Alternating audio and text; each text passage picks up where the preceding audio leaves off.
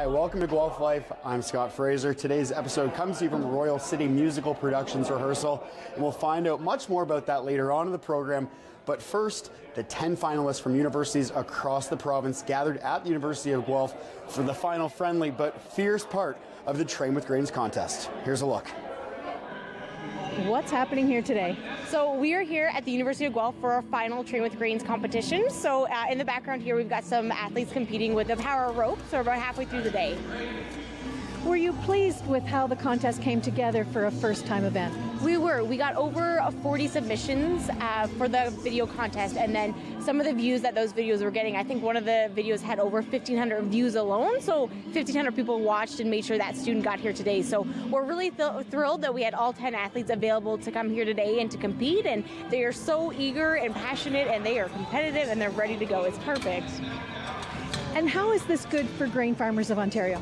So this is um, the exact the outcome we wanted to know is just to have people thinking about grains, using grains in a healthy diet, and to have athletes show that all the athletes behind me do fuel their bodies using grains, whether that's barley, oats, uh, corn, soybeans, or wheat, and it shows because of their athletic abilities that they're able to do today. So we were able to meet our goal of just introducing grains to some university students and having them prove that training with grains does have benefits.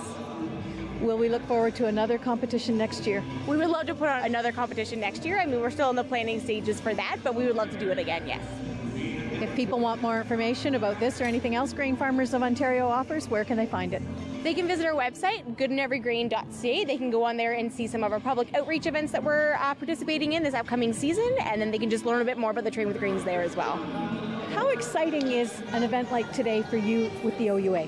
Oh, it's fantastic to see the collaboration between the Grain Farmers of Ontario and the Ontario University Athletics, and to see the response from the students to uh, to engage in this kind of competition, and then bring them together. We have representation from a number of different schools here today. It's great to see, and you see a, a variety of different athletes here from different sports competing as a group. So it's it's a lot of fun. And this was a contest that was open to all students, not just student athletes. So the social media aspect is kind of fun too to engage the students to get involved with it, and also to have them here today. It was nice to see that they were able to fit it into their class schedules to come to Guelph.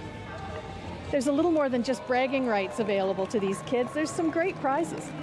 Yeah, absolutely. We had uh, full support, obviously, uh, by the Grain Farmers of Ontario. There's some cash prizes here for the students that are here today. So everybody's walking away with something. And Adidas has been a tremendous partner as well with the athletic gear, as well as weekly prizes throughout the entire contest. So uh, a lot of prizes have been distributed. There's going to be more today. And, and I think that was the attraction for everyone to travel as far away as Ottawa to come to Guelph today for a one day competition.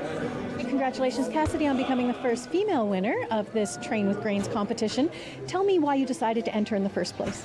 Um, I thought it was just something really fun to do with my friend. Me and my friend entered together making a hockey video, and it was just our season was done. It was a lot of fun to get back on the ice, and we were just hoping for the best out of it.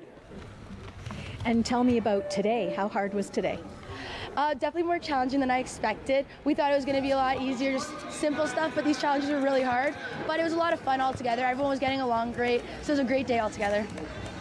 And would you recommend this to friends for perhaps another contest next year? Oh, 100%. It was so much fun. Just from coming to Guelph to the actual competition, the video, the recipe, everything was just so fun. I would definitely recommend it. And the money is awesome, awesome as well. And so, what will you do with the money? Still haven't decided that one yet. I know I'm splitting it between my friend who uh, did the video with me because it was us two starting it from the beginning, um, but I don't think we fully decided yet. So, congratulations, Chris, on becoming the first winner of the Train with Grains competition. Tell me why you decided to enter in the first place. Well, for me, like as an athlete, especially knowing a lot of athletes, I didn't really know what to kind of eat before or after workouts. It would kind of just be like whatever mom cooked or whatever I could get my hands on.